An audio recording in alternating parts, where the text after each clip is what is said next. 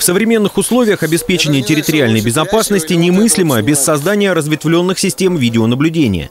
Именно поэтому реализации программы «Безопасный город» в Одинцовском районе уделяется повышенное внимание. Очередной шаг в данном направлении – создание специального центра, который в ближайшее время начнет работу в здании Одинцовского отдела ГИБДД в Больших Веземах. Здесь мы создаем мониторинговый центр, куда сведем информацию со всех видеокамер, которые устанавливаем по программе «Безопасный регион». А, как вы знаете, в 2016 году мы установили 451 камеру в пилотных, так скажем, поселениях. И в этом году планируем э, установить еще 600 камер. Не менее 600 во всех э, поселениях э, Одинцовского района будет работать система «Безопасный регион». Технической стороной этого сложного масштабного проекта занимается акционерное общество телерадиокомпании «Одинцова».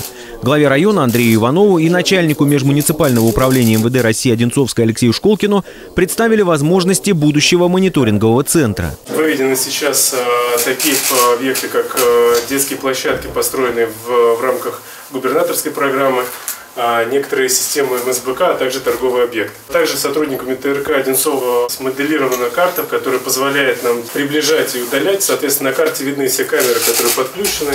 Она очень удобна в использовании. Система предполагает объединение видеоданных со всех камер, установленных на территории района, как вновь подключаемых, так и уже работающих. Сегодня мы получили от, э, от полиции э, пожелания и дополнительные э, сказать, требования, которые необходимы к этому центру. Мы добавим еще мониторы.